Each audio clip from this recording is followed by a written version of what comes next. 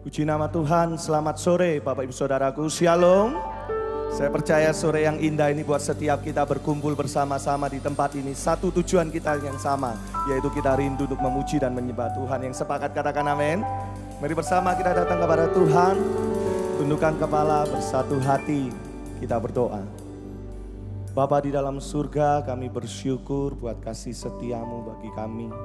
Sampai dengan sore hari ini Tuhan, kami percaya penyertaanmu sempurna. Kalau engkau sudah tibakan setiap kami semuanya di tempat ini. Inilah kerinduan kami. Kami datang ke rumahmu ya Bapa, membawa pujian kami, kerinduan kami. Kami mau bersyukur kepadamu Tuhan. Dan biarlah engkau bertahta di atas pujian umatmu. Sore hari ini kami percaya Engkau hadir, Engkau melawat setiap umatmu, kasihmu Engkau curahkan di tengah-tengah setiap kami. Dan ibadah kami sore hari ini mendatangkan kebaikan bagi setiap kami semua. Hati kami terbuka kepadamu Tuhan. Terpujilah namamu kekal sampai selama-lamanya. Dalam nama Tuhan Yesus. Mari bersama kita berkata, Amin.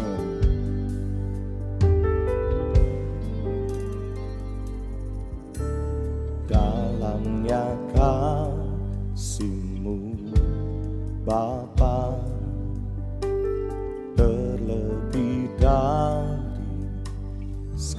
skalanya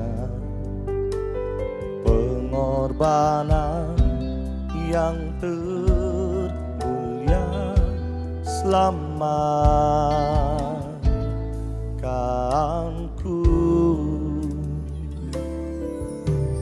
dengan darah yang tercurah ampuniku atas dosa. Ku bersujud kepadamu oh Yesusku. Engkau ku sembah kau yang terindah pulihkanku dengan darahmu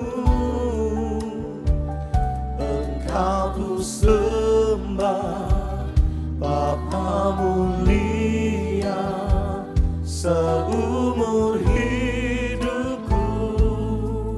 Ku mau menyembahmu.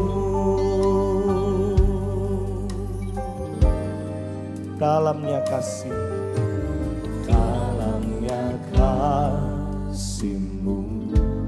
Bapa terlebih dari skalanya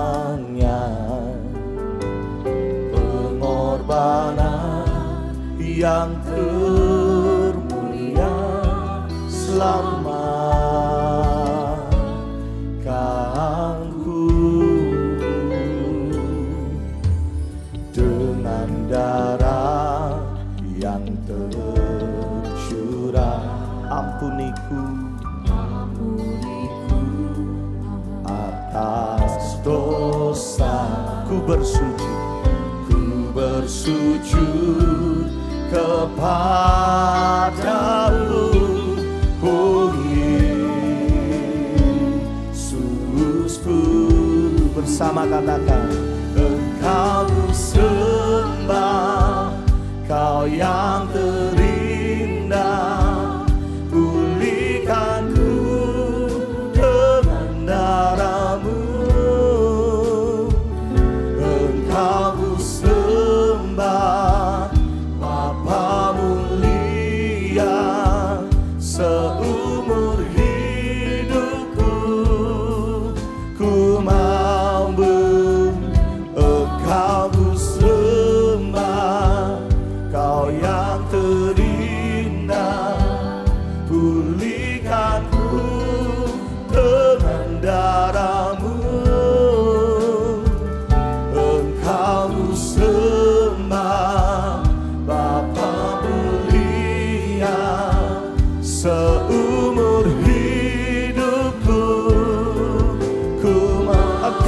hidupku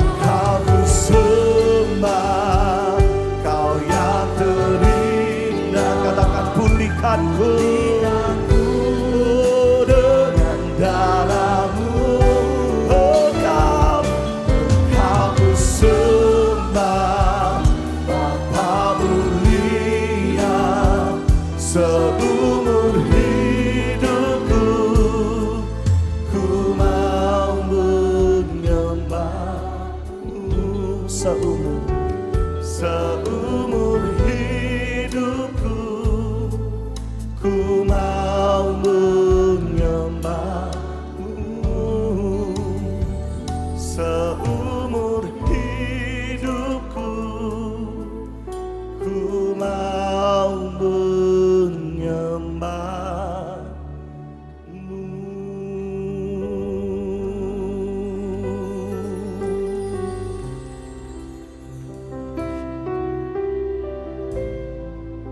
datang kepadamu membawa kerinduan kami.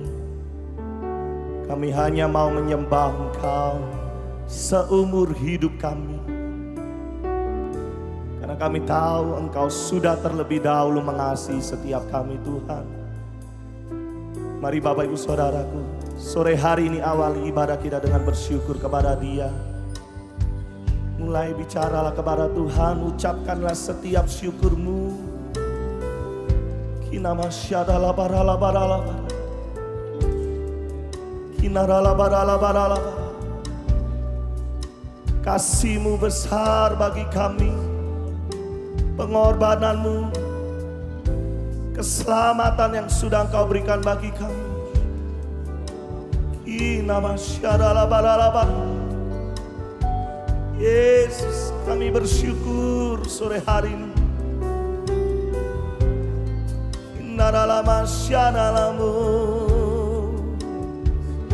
Inilah pujian kami. Inilah sembah kami. Kami memuji, kami menyembah, kami bersyukur. Kinamasyadalamu Yesus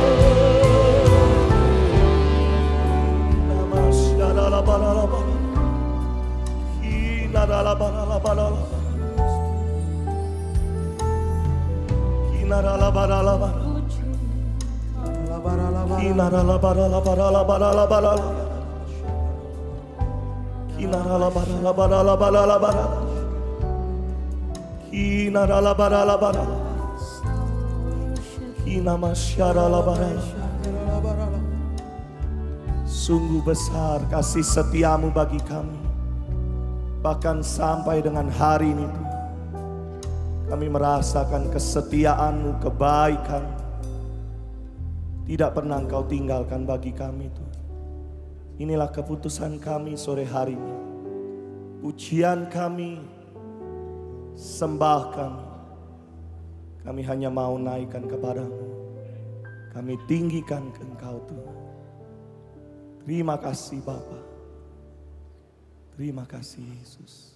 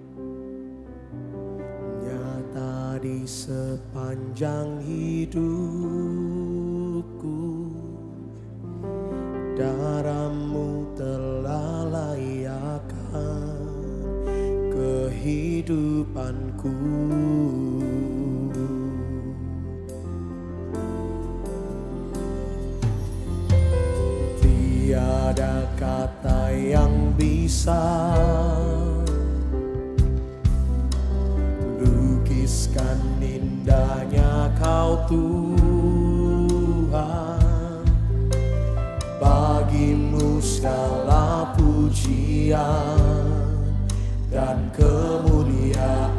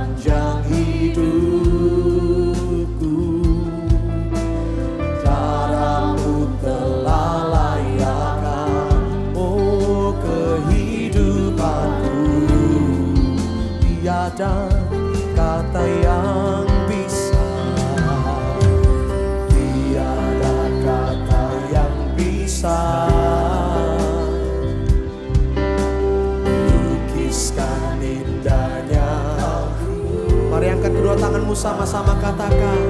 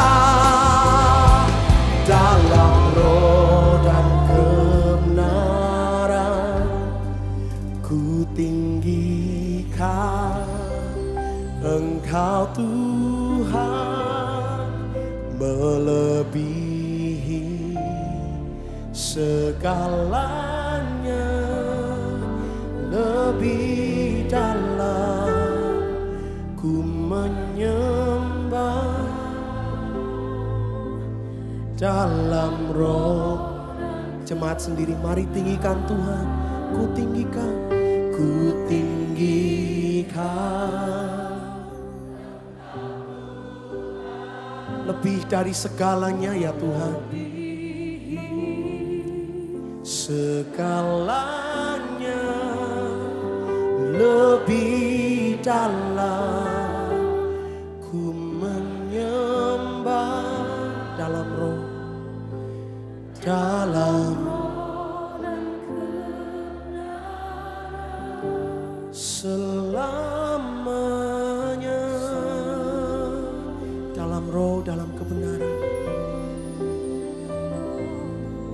dalam roh dan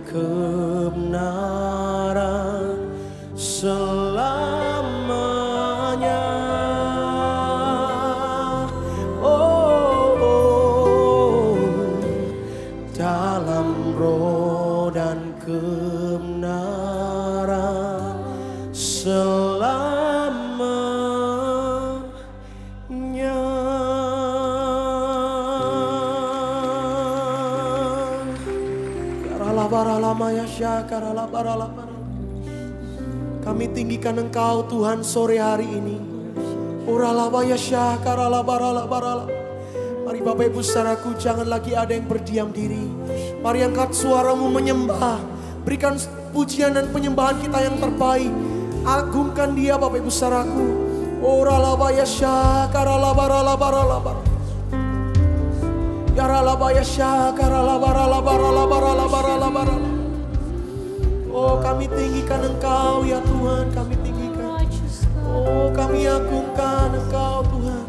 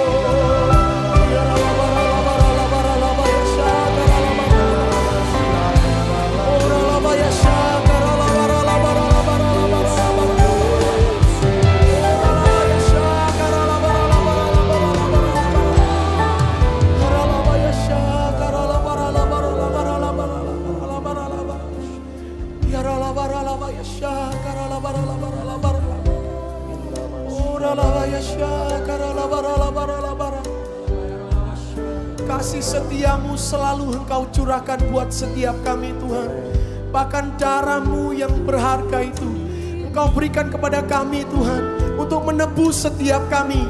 Untuk memulihkan setiap kami. Oleh sebab itu sore hari ini kami angkat kedua tangan kami tinggi kepada Tuhan.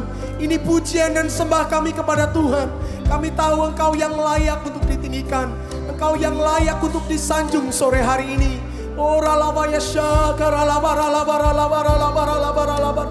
Mari terus sanjung Tuhan. Ya ralabaya syakara labara labara labara labara labara labara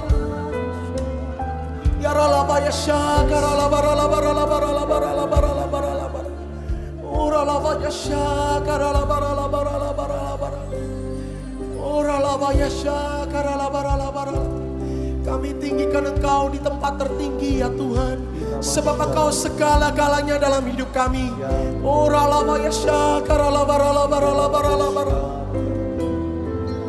Ya Rala laba Ya ya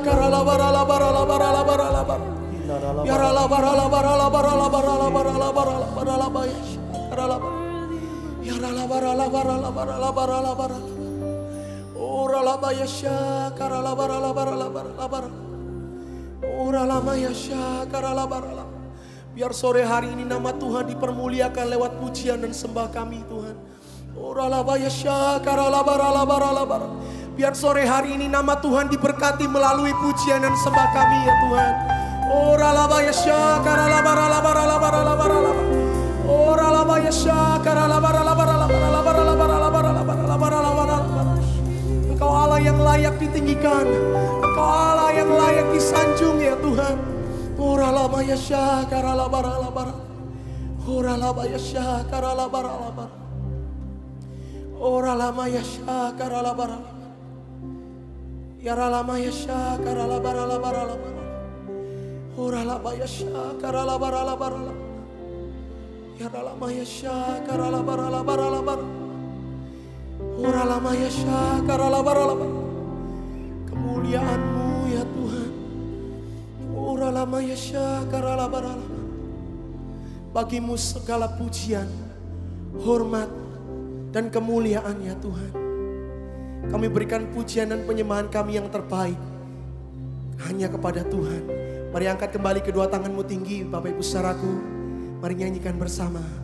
Ku tinggikan Engkau Tuhan melebihi segalanya lebih dalam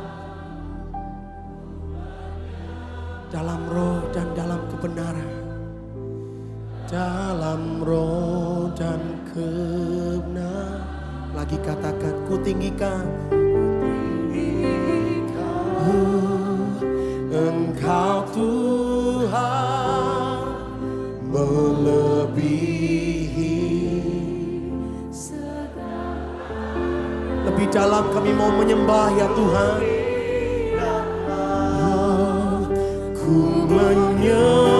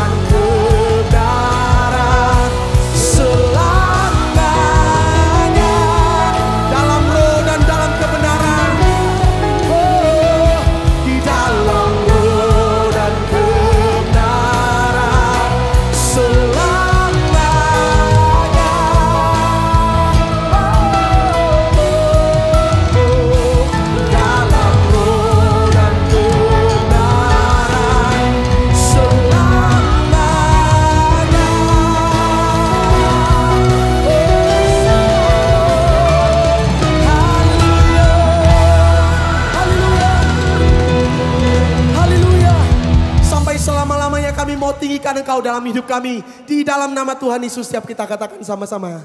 Amin. Sorak-sorai buat Tuhan kita. Saudara saya sore hari ini bersuka cita karena kita tahu bahwa kita adalah orang-orang yang ditebus oleh Tuhan. Siapa percaya kau ditebus lambaikan tanganmu. Kita menerima anugerah keselamatan, kekuatan, kesembuhan, kebebasan, pengharapan yang baru sore hari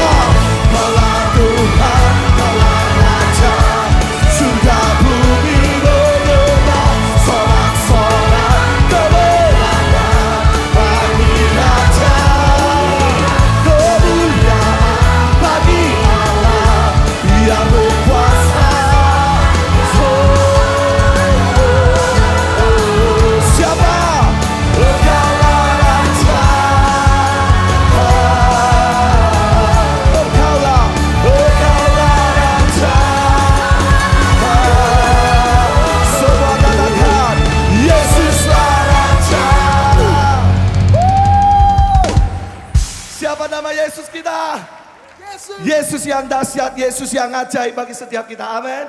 Kasihkan salam kanan kirimu lagi. Katakan Yesus kita dahsyat, Yesus kita mulia. Amin. Silakan duduk kembali Bapak Saudaraku.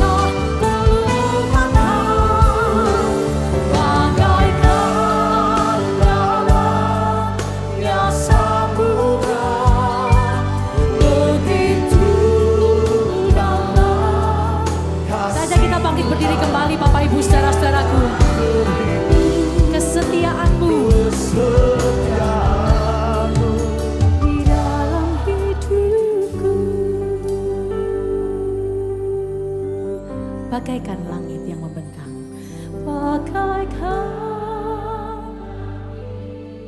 yang membentang begitu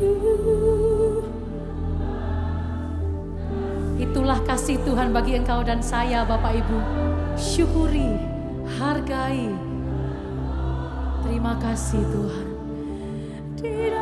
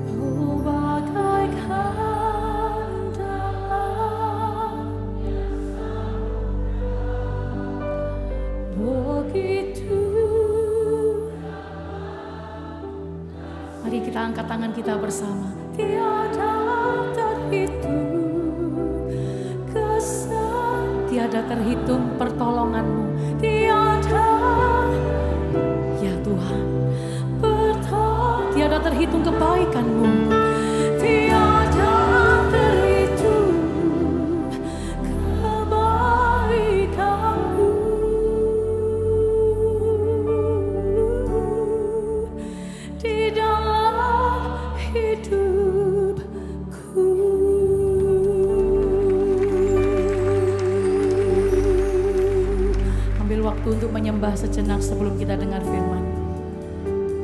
Kurapata syakara maralawanalawa syikiara lawanalawa. Kami syukuri kasih-Mu, kami hargai kebaikan-Mu. Oh, bahkan kami melihat dan menikmati kesetiaan bahkan pertolongan Tuhan dalam hidup kami. Bukti kasih-Mu yang begitu besar bagi setiap pribadi di tempat ini dan tidak ada yang terkecuali. Kami semua menerima kesetiaan dan kebaikan Tuhan. Oh, terima kasih Tuhan. Kami angkat kedua tangan kami sore hari ini. Kami hargai semua yang Tuhan kerjakan dalam hidup kami. Bahkan dalam hal yang paling sepele dalam hidup kami.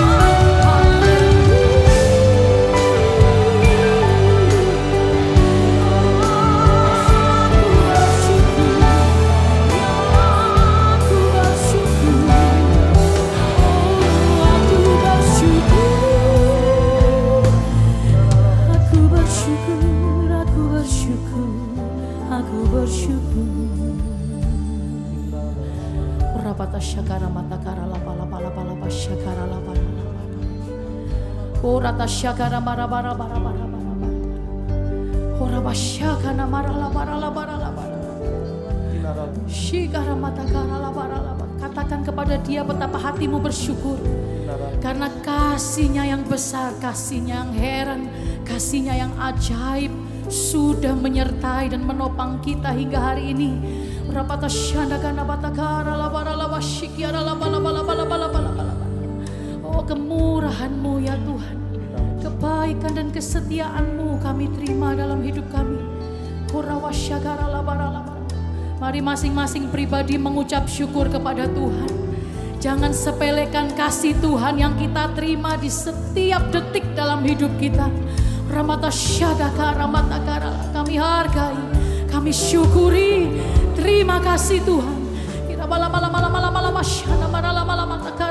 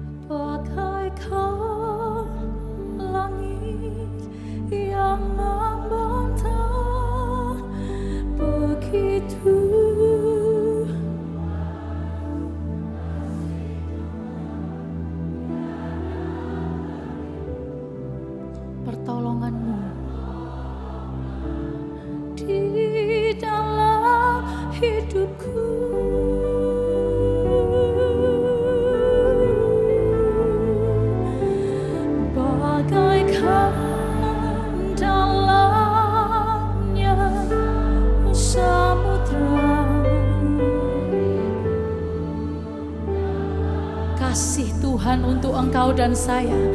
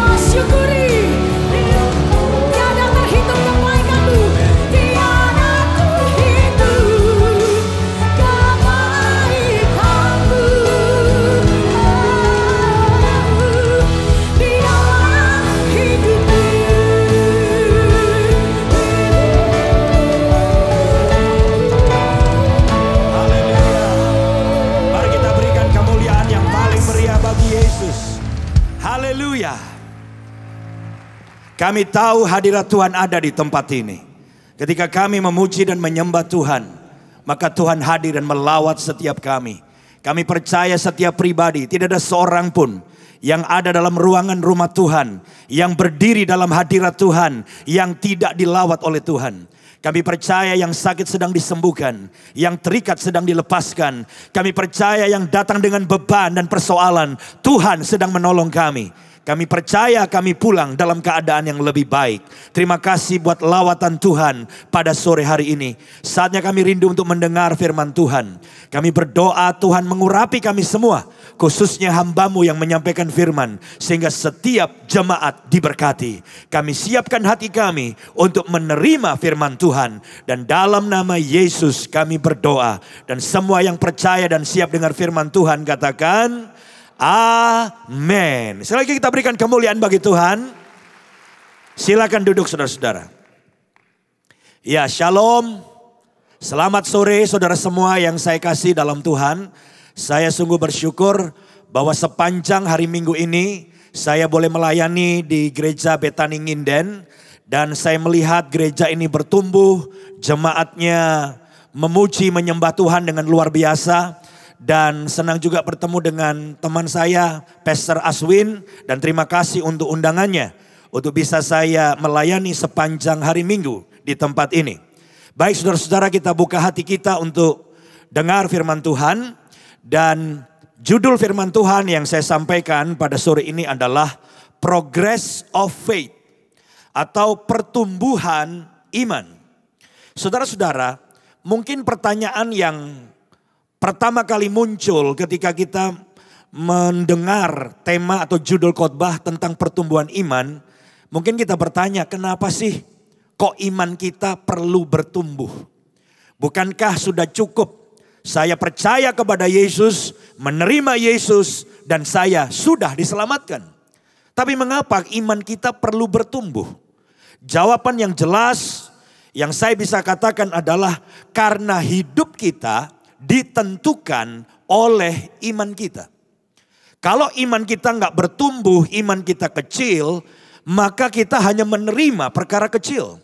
Tetapi kalau iman kita bertumbuh dan iman kita menjadi iman yang besar, maka kita akan menerima perkara-perkara yang besar.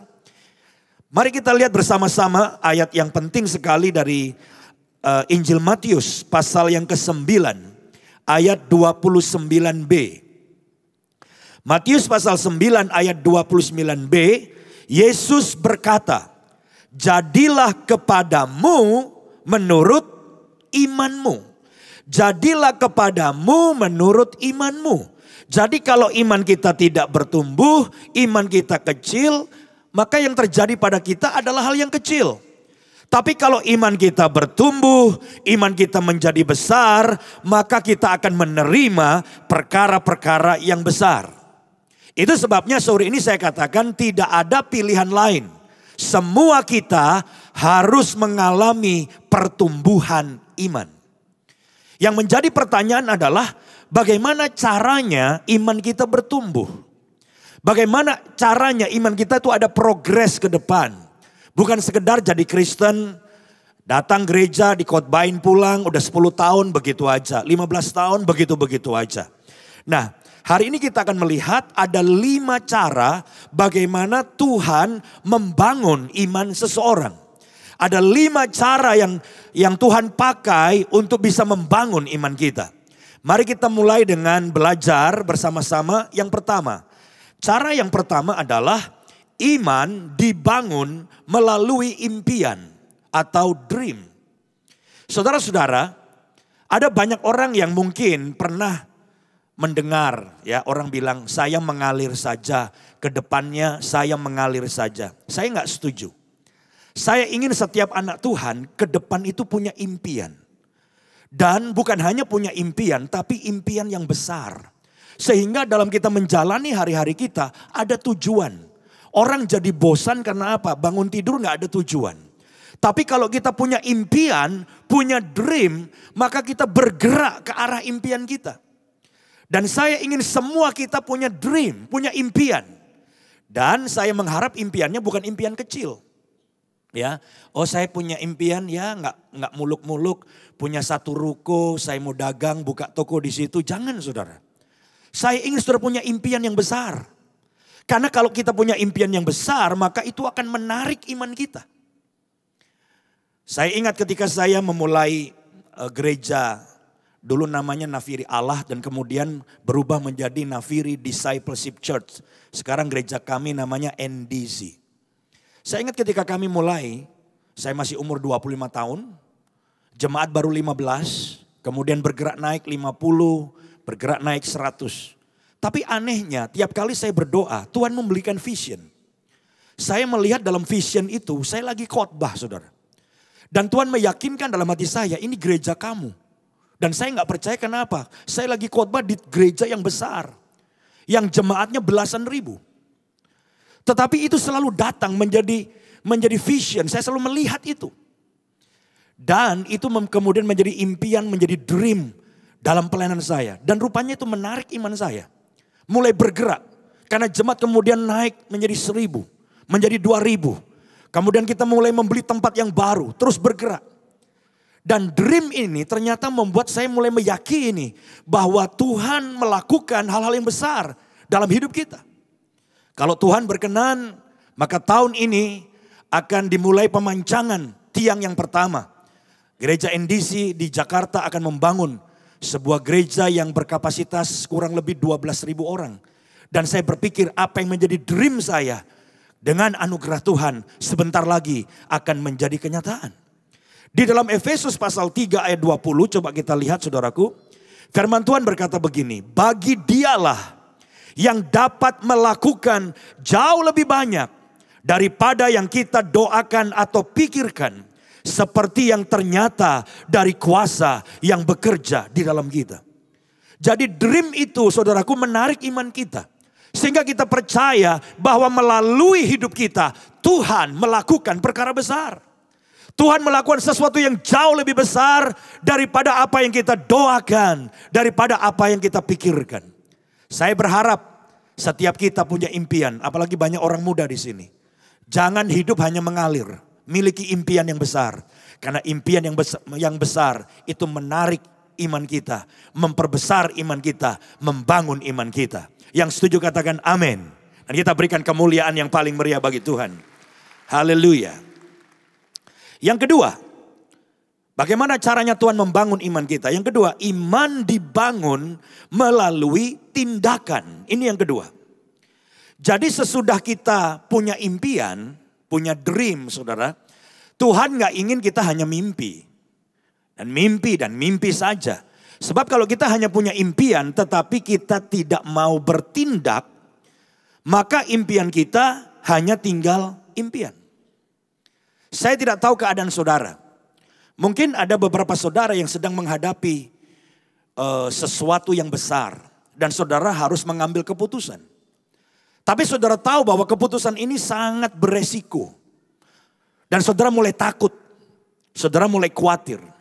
Dan saudara berpikir udah deh saya nggak ambil keputusan deh. Saya ingin katakan pada saat kita takut. Dan kemudian kita tidak mengambil keputusan. Sebenarnya itu adalah sebuah keputusan. Keputusan untuk tidak membuat keputusan. Dan saya ingin katakan hidup kita akan mandek. Nggak ada kemajuan. Saya ingin kita semua bukan hanya bicara, saya percaya. Bukan hanya berkata saya beriman kepada janji Tuhan. Tetapi kita mau bertindak saudara. Perhatikan Yakobus pasal 2 ayat yang ke-26. Yakobus pasal 2 ayat 26 berkata begini. Sebab seperti tubuh tanpa roh adalah mati. Demikian juga iman tanpa perbuatan-perbuatan adalah mati.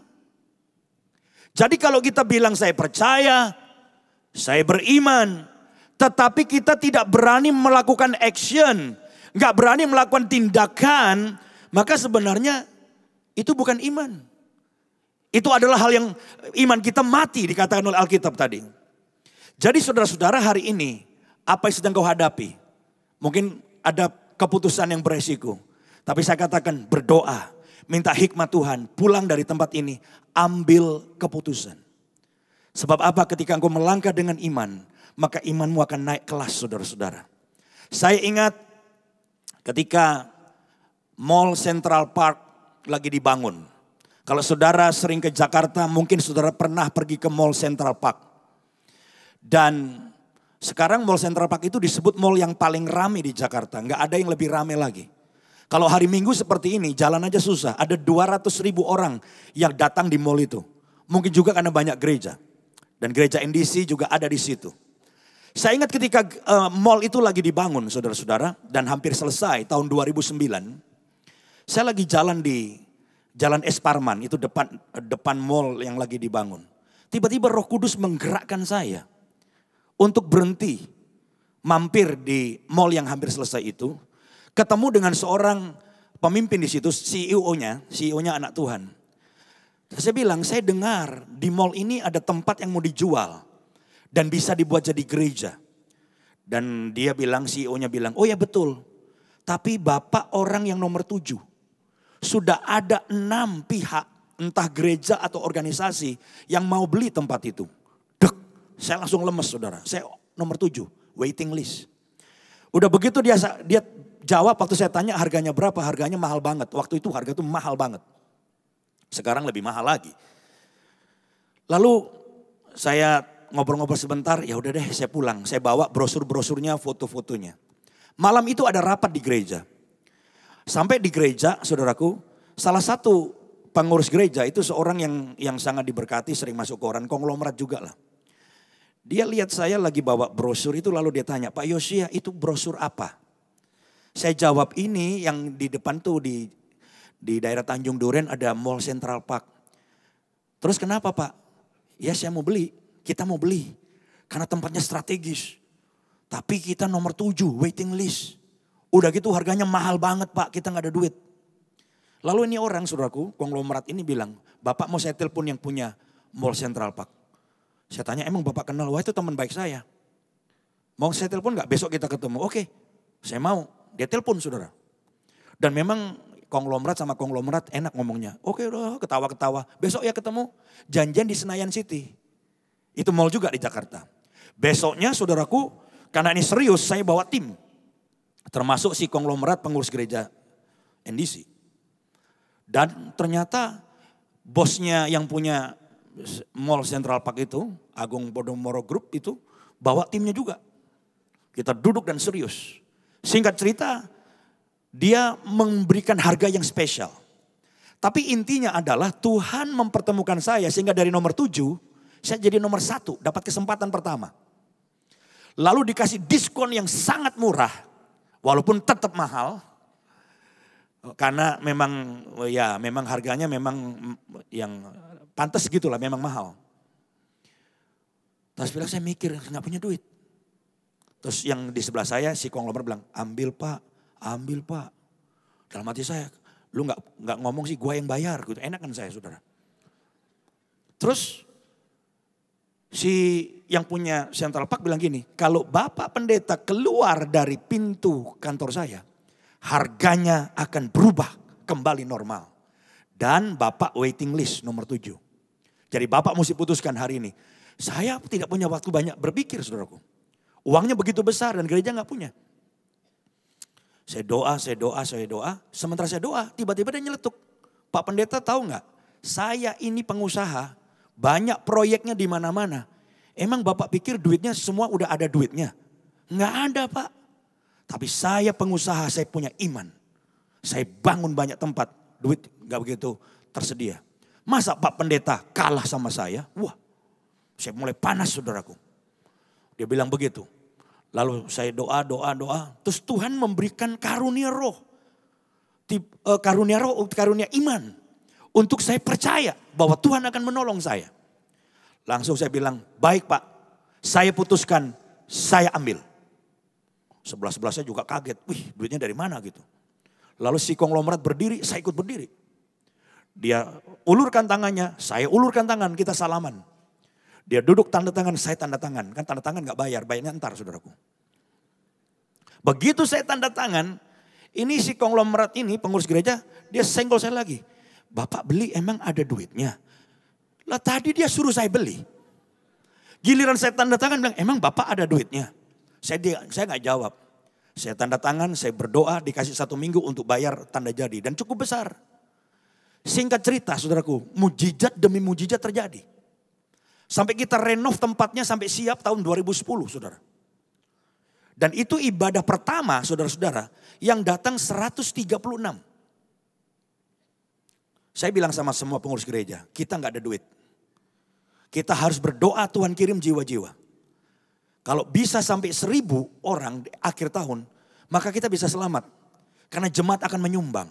ya dan itu bisa membuat kita punya nafas, saya bilang gitu. Saudara tahu sampai akhir tahun yang datang bukan seribu. Yang datang hampir dua ribu saudara.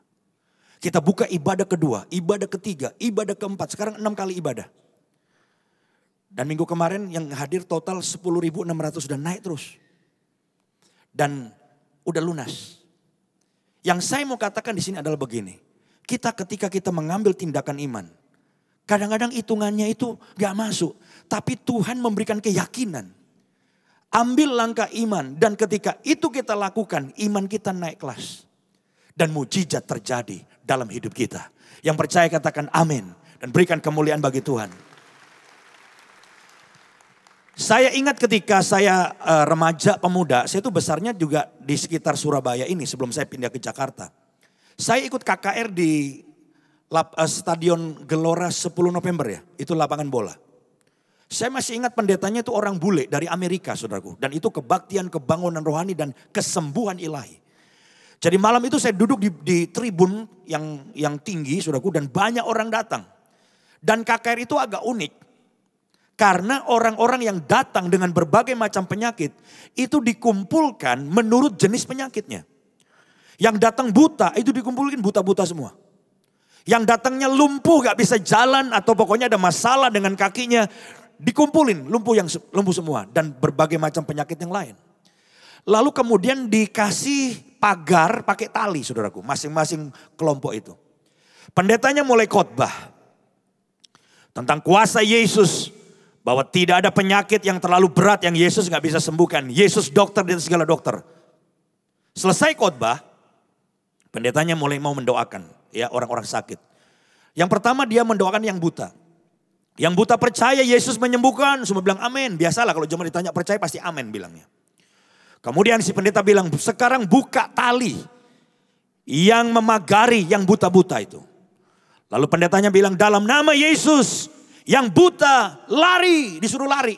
Yang buta bingung saudara. Saya lihat dari tribun itu yang buta pada goyang-goyang palanya. Banyak yang pakai kacamata hitam. Tapi ada beberapa orang yang nekat saudaraku. Saya bilang nekat, kenapa? Karena dia masih buta. Mereka masih buta. Waktu lari pertama nabrak kiri, nabrak kanan. Tapi langkah selanjutnya, mungkin langkah ke-6, langkah ke-7, langkah ke-8. Larinya mulai lurus. Larinya mulai nggak nabrak. Ada beberapa orang mulai mengitari stadion itu dan mereka berkata haleluya. Saya sudah bisa melihat, saya sembuh. Kapan mujizat terjadi? Karena ketika mereka melangkah dengan iman. Kemudian pendetanya bilang, sekarang saya mau berdoa bagi yang lumpuh. Tolong itu tali yang jadi pagarnya dibuka. Lalu pendetanya bilang dalam nama Yesus yang lumpuh lari sama kayak yang buta, bingung semua. Mungkin dalam hati mereka berpikir, aku datang aja dituntun, dipakai kursi roda, nanti lari bukannya sembuh jatuh malah encoknya kambuh mungkin. Jadi banyak yang diam. Tapi ada beberapa orang yang lompat dari kursi rodanya, lompat dari tempat tidurnya, jatuh, bangun lagi, jatuh. Tapi akhirnya beberapa orang dituntun pelan-pelan mulai melangkah, melangkah. Dan mereka berteriak haleluya, saya bisa berjalan, saya menerima mujizat Tuhan. Kapan mereka bisa jalan? Bukan waktu disuruh lari. Tapi waktu mereka melangkah dengan iman, maka mujizat terjadi. Saudara saya ingin katakan, ambil tindakan iman. Lakukan sesuatu. Jangan saudara diam dan bilang, aduh ini terlalu bahaya. Oh ini saya nggak bisa ambil keputusan. Jadilah berani. Doa, minta hikmat Tuhan, ambil keputusan. Saya percaya ada banyak mujizat yang akan dialami oleh jemaat Betani Nginden. Malam ini, dalam nama Yesus, yang percaya berikan kemuliaan bagi Tuhan. Haleluya. Yang ketiga, iman dibangun melalui delay atau masa tunggu. Saya tidak tahu apa yang sedang saudara alami. Tapi yang saya tahu adalah ada banyak orang yang sedang berdoa, tapi jawaban belum datang. Sudah berdoa untuk satu persoalan, tapi kelihatannya nggak ada perubahan. Berdoa untuk penyakitnya tak kunjung sembuh. Saya ingin katakan kepada saudara, bukan Tuhan ingkar janji. Tapi Tuhan memasukkan saudara di satu tempat, satu ruangan yang saya sebut adalah ruang tunggu. Kenapa kita masuk ruang tunggu? Karena selagi kita menunggu sebenarnya Tuhan sedang mau membangun iman kita. Ada banyak orang yang berpikir dia beriman padahal enggak. Kapan ketahuan itu iman beneran atau itu cuma perasaan atau semangat rame-rame? Kapan ketahuan? Waktu dalam ruang tunggu. Ada banyak orang di gereja saudaraku, wah haleluya, percaya, percaya. Tapi sebetulnya hanya euforia, rame-rame. Pulang, kayaknya nggak mungkin deh. Tadi gua cuma bilang haleluya, percaya itu karena rame-rame. Tapi ternyata masalah kita terlalu besar, nggak mungkin. Wow. Banyak orang bukan beriman, tapi lagi semangat rame-rame. Ada orang yang nggak bisa membedakan antara iman juga dengan perasaan. Karena bedanya tipis. Tapi yang saya tahu adalah bahwa perasaan gampang berubah. Betul nggak saudaraku? Sekarang percaya, besok nggak percaya. Minggu ini percaya, minggu depan nggak percaya. Itu perasaan. Tapi iman yang sungguh itu teruji oleh waktu. Dan pada waktu kita berada dalam ruang tunggunya Tuhan, sebenarnya Tuhan mau menumbuhkan iman kita. Perhatikan Habakuk pasal 2 ayat 3. Coba kita lihat saudara-saudara. Saudara mungkin berpikir kayaknya Tuhan gak dengar doa saya. Tidak. Tuhan gak pernah bohong. Tuhan gak pernah ingkar janji. Ya, Habakuk pasal 2 ayat 3 bilang begini. Catatlah itu. Sebab sekarang belum waktunya. Tetapi saat itu segera tiba. Dan apa yang kunyatakan kepadamu pasti akan terjadi. Meskipun tampaknya masih lama, tetapi tunggu saja. Saat itu pasti akan datang dan tak akan ditunda. Ini dari bahasa Indonesia sehari-hari. Jadi kadang-kadang kita berpikir dalam ruang tunggunya Tuhan, mana jawabannya nggak datang.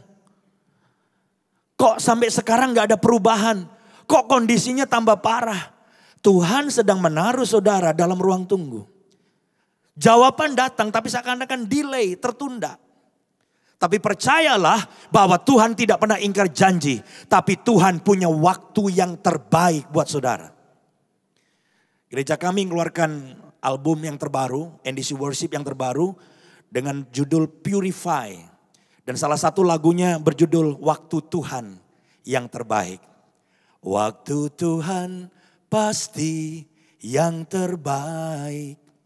Walau kadang tak mudah dimengerti lewati cobaan ku tetap percaya waktu Tuhan pasti yang terbaik.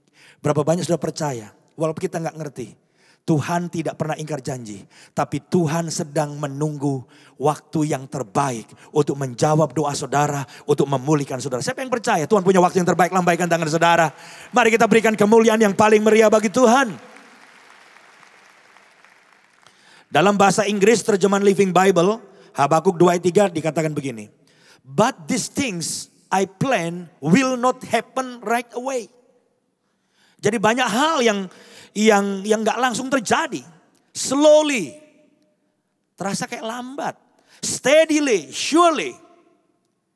The time approaches when the vision will be fulfilled. Jadi kadang-kadang terasa lambat. Tapi pasti. Dan akan terjadi dalam hidup saudara. Saya mau katakan dalam nama Yesus. Akan ada satu hari di mana engkau akan dipulihkan.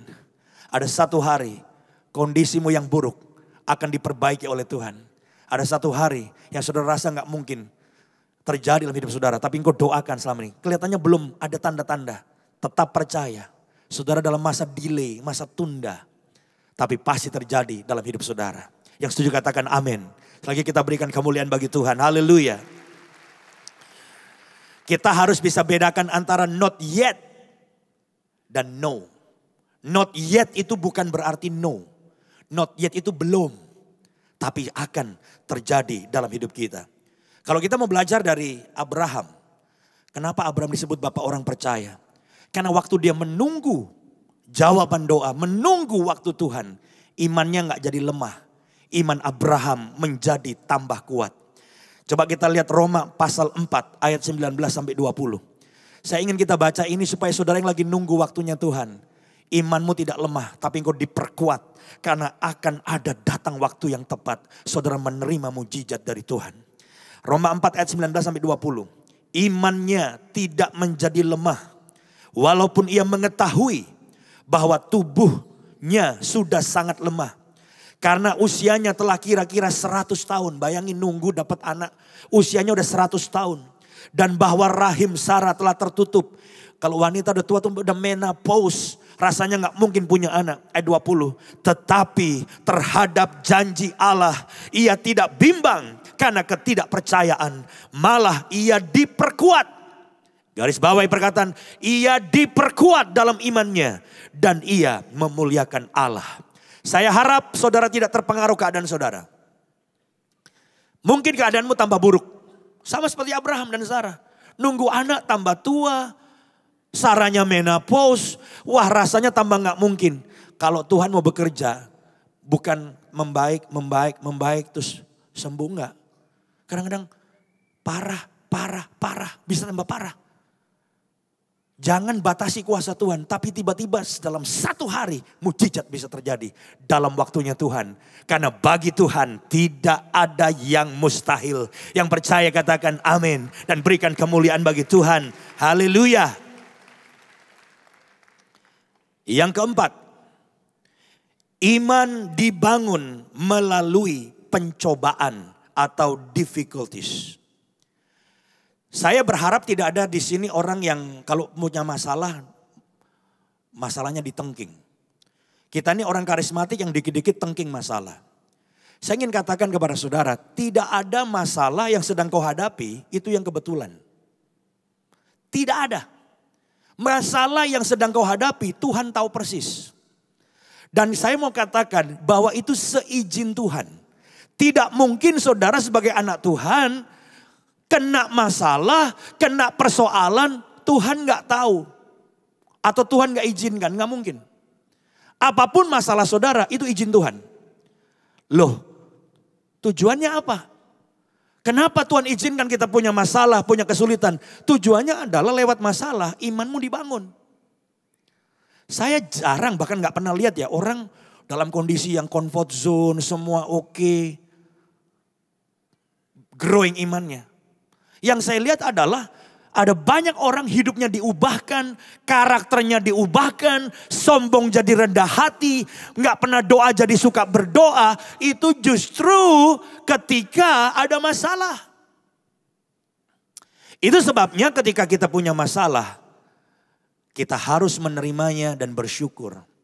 Dan berita baiknya adalah tidak mungkin masalah itu melampaui kekuatan saudara. Karena Alkitab bilang, Pencobaan yang kamu alami, masalah yang kau alami itu masalah biasa. Jangan pernah bilang masalah itu luar biasa. Masalahmu biasa kata Alkitab. Dan tidak melebihi kekuatanmu. Dan Tuhan sudah memberikan rencana pertolongannya sudah ada. Jalan keluar kepadamu. Jadi hari ini hadapi masalah saudara. Jangan mengomel, jangan ngeluh. Izinkan masalah itu membangkitkan iman saudara. Kalau kita lihat dalam 1 Petrus pasal 1, coba kita lihat ayat 6 sampai 7a. Ya. 1 Petrus pasal 1 ayat 6 sampai 7a.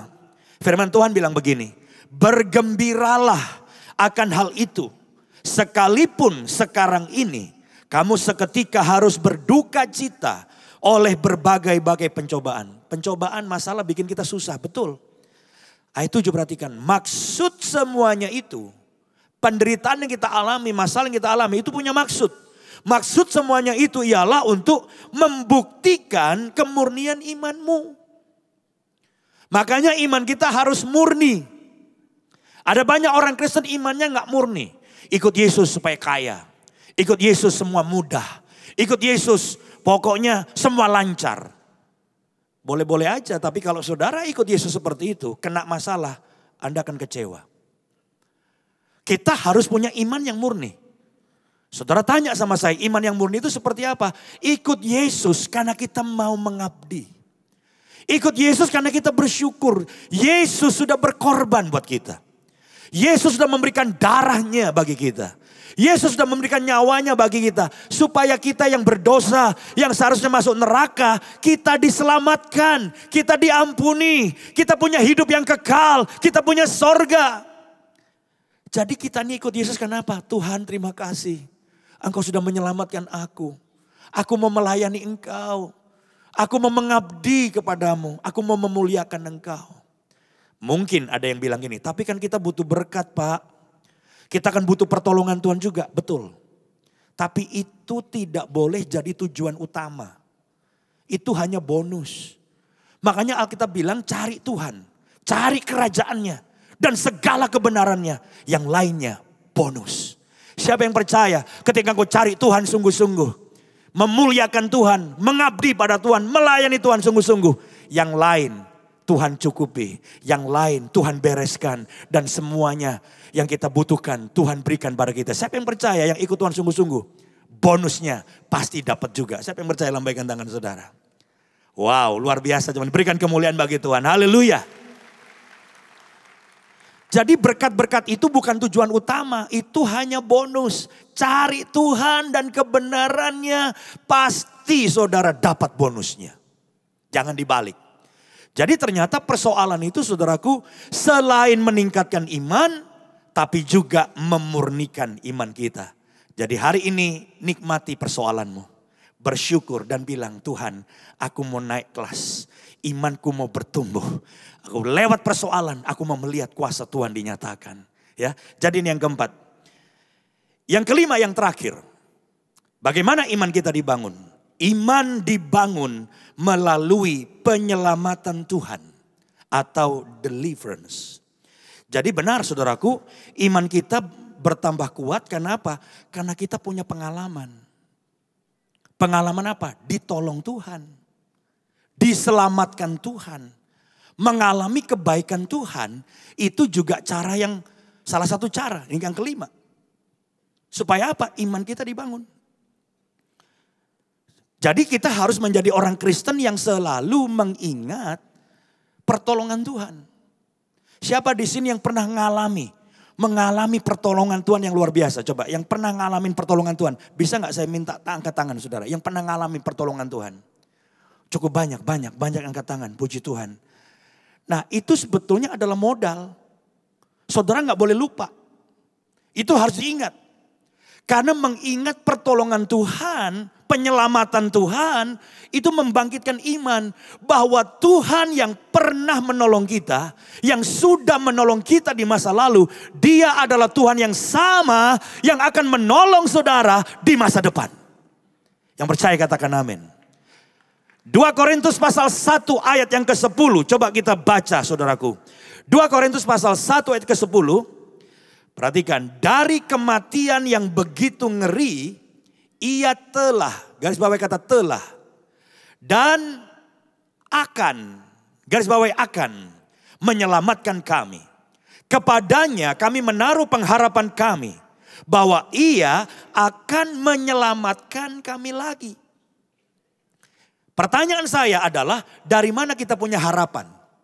Bahwa dia Tuhan akan menyelamatkan kita lagi. Nah perhatikan kita balik ke ayatnya coba ditampilkan lagi ayatnya. Perhatikan dari kematian yang begitu ngeri ia telah. Saya mau tanya kalau telah artinya sudah terjadi apa belum? Sudah. Telah ini sudah terjadi, udah dapat pengalaman. Tuhan sudah menolong kita. Ini yang harus diingat karena penyelamatan Tuhan, deliverance from God itu adalah menjadi kunci untuk kita punya iman yang kokoh. Ya, ia telah dan akan. Saya berharap saudara tidak pernah melupakan bahwa Tuhan telah menolong kita di masa lalu. Dan Tuhan yang telah menolong kita di masa lalu, Dia Tuhan yang sama akan menolong kita ke depan. Jadi hari ini jangan pulang dengan bimbang dan ketakutan. Ingat dia telah menolong saudara dulu. Dia akan menolong saudara ke depannya. Dan ini menjadi kuncinya. Kenapa Daud itu orangnya berani banget.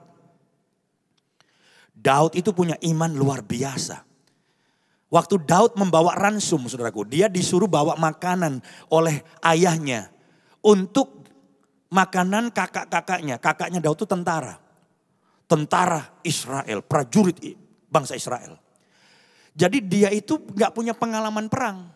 Daud itu badannya kecil, masih muda, gak punya pengalaman perang, wajahnya imut-imut, Alkitab bilang kemerah-merahan, gak ada pengalaman.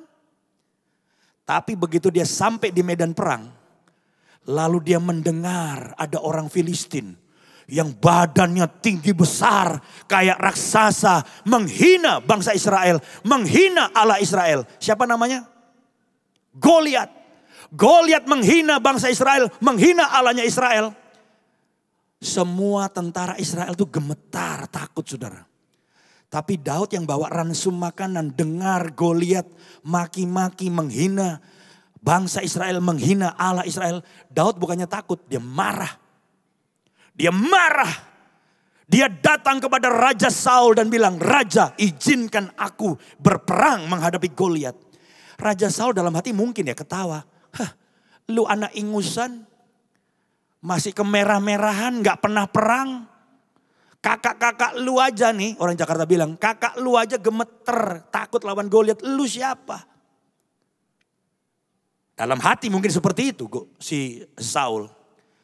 Tapi kemudian Daud menjawab dan ini kuncinya kenapa dia punya iman, punya keberanian bisa mengalahkan Goliat. Ini ayat terakhir 1 Samuel 17 ayat 37. 1 Samuel 17 ayat 37. Pula kata Daud, Tuhan yang telah melepaskan aku dari cakar singa dan dari cakar beruang dia juga akan melepaskan aku dari tangan orang Filistin itu. Kata Saul, ini baru Saul ngomong kepada Daud, pergilah Tuhan menyertai engkau. Jadi lewat ayat ini apa yang menjadi kuncinya? Daud kok berani? Dia mengingat Tuhan telah menolong dia. Penyelamatan Tuhan atas hidupnya. Lawan singa, singa dirobek mulutnya. Beruang gede, dia kalahkan, dibunuh. Dan dia bilang apa? Tuhan yang telah menolong aku. Tuhan yang sama akan membuat Goliat aku kalahkan. Hari ini saudaraku ingat kebaikan Tuhan. Ada banyak hal dalam hidup saya hari-hari ini. Orang bilang, Pak Yosia gimana? Stres nggak? Saya nggak stres. Saya tahu masalah banyak. Apalagi mau bangun gereja yang nilainya sangat besar saudaraku. Kadang-kadang ada sih ya dikit-dikit namanya manusia. Tapi saya selalu ambil ayat ini. Tuhan yang telah menolong saya. Saya dulu siapa datang ke Jakarta. Cuma bawa satu koper saudaraku. Sekolah Alkitab di Jakarta nggak punya keluarga. Nggak punya teman. Nggak punya sponsor. Semua hanya karena anugerah Tuhan. Kadang-kadang hari ini makan, besok nggak tahu makan apa. Tapi saya mau katakan saya tidak pernah nggak makan. Selalu makan. Selalu bayar kuliah. Selalu bayar uang kos.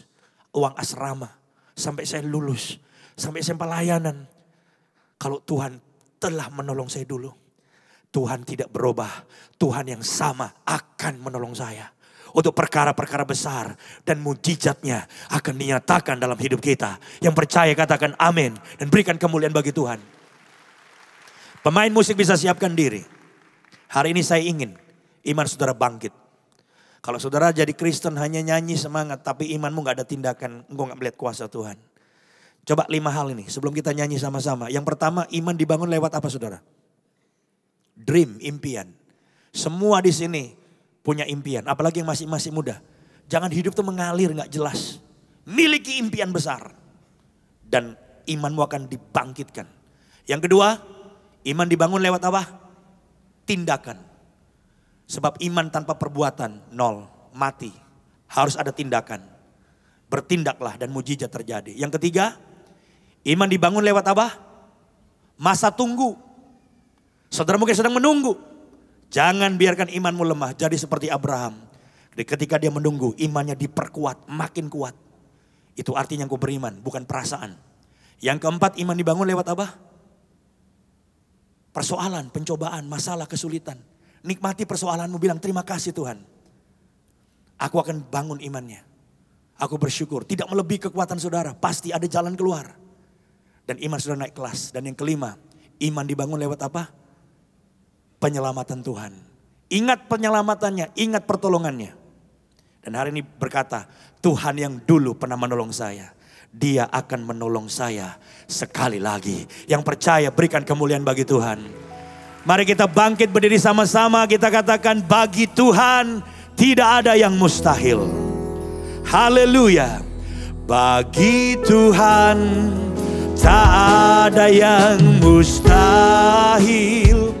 Bagi Tuhan tak ada yang tak mungkin. Mujizatnya disediakan bagiku ku diangkat dan dipulihkannya.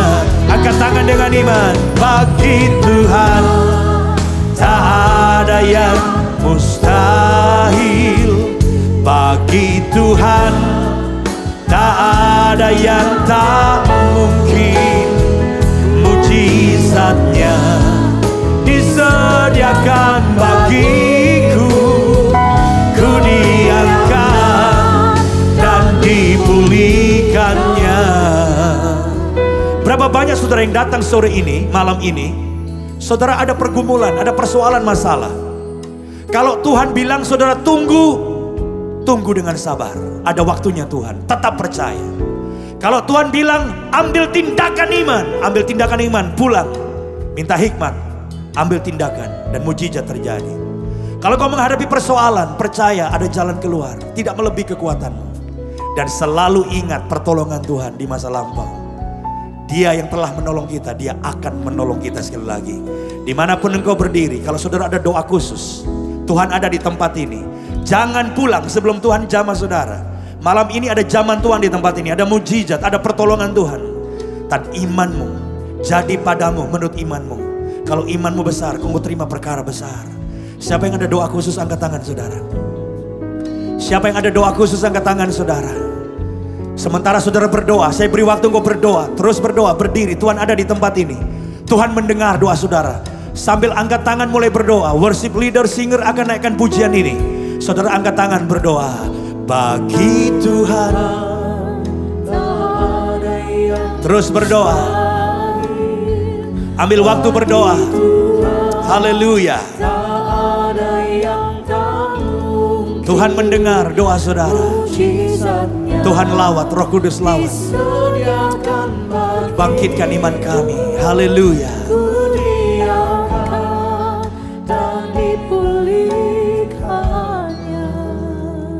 Kami percaya kuasamu. Oh kami percaya engkau menjawab doa kami. Dan bagimu tidak ada yang sukar Karena engkau lebih besar Dari setiap masalah yang kami hadapi. Kami percaya kuasamu. Engkau Allah El Shaddai Allah yang maha kuasa dan maha besar. Lebih besar dari setiap persoalan kami. Haleluya. Goliat-Goliat sedang diruntuhkan dalam nama Yesus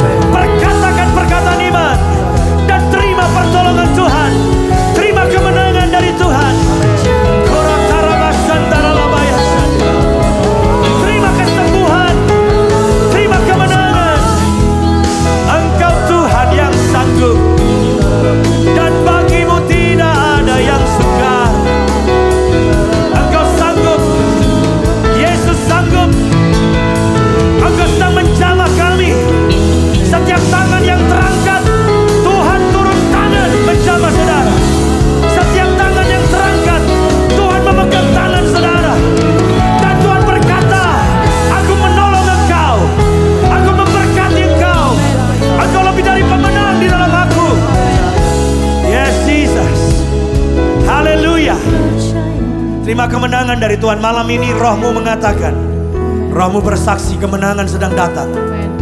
Jangan lihat besarnya masalah dan goliat di depan saudara. Kemenangan sedang datang dalam hidup saudara.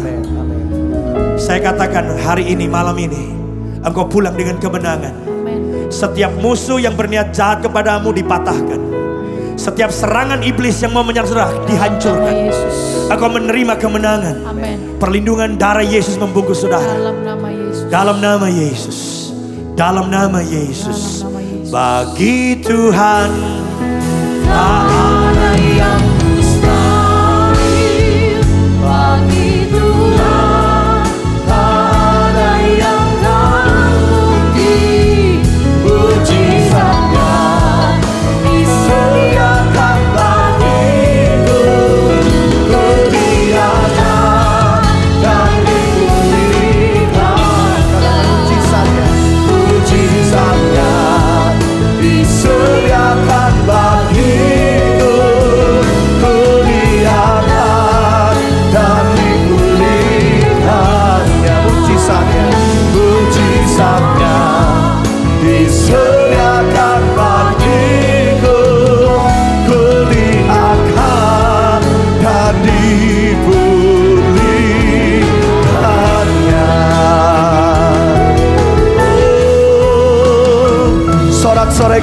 bagi Tuhan kita. Terima kasih Bapak buat kebenaran firman-Mu yang sudah Engkau berikan bagi setiap kami. Pada sore hari ini Tuhan kami percaya pulang dari tempat ini Tuhan hidup kami diubahkan. Kami menerima mujizat-Mu, kami menerima kemenangan demi kemenangan terjadi di dalam setiap kehidupan kami semua.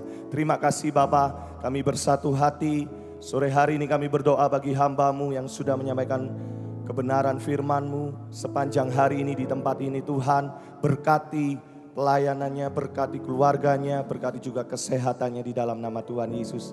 Terima kasih Bapak. Dan saat ini kami akan mendapatkan kesempatan untuk memberikan persembahan. Kami mau terus menyenangkan hatimu. Kami memberi dengan penuh ketulusan hati yang terbaik.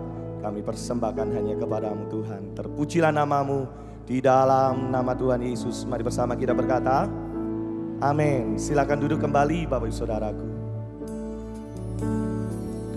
dalam setiap persoalanku ada nama Yesus berkuasa dalam setiap perkara yang rumit ku berharap selalu padamu oh Yesus. Engkaulah penolong yang sejati. Tiada yang mustahil bagimu. Dan aku percaya saat ku di sini Mujizatmu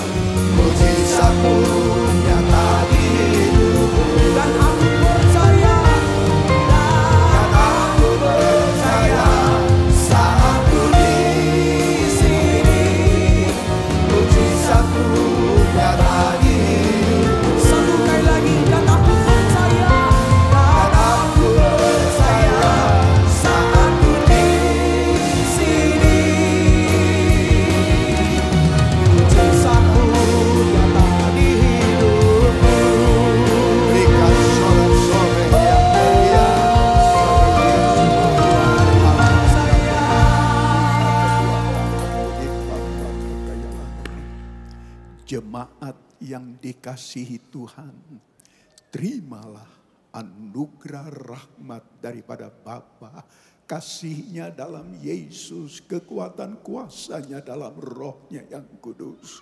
Untuk terus menaungi, membimbing, menyertai dan memberkati kita semua. Sepanjang malam ini hingga Maranatha Yesus datang bahkan sampai selama-lamanya. Doa nama Yesus. Semua yang percaya sama-sama kita berkata. Amin.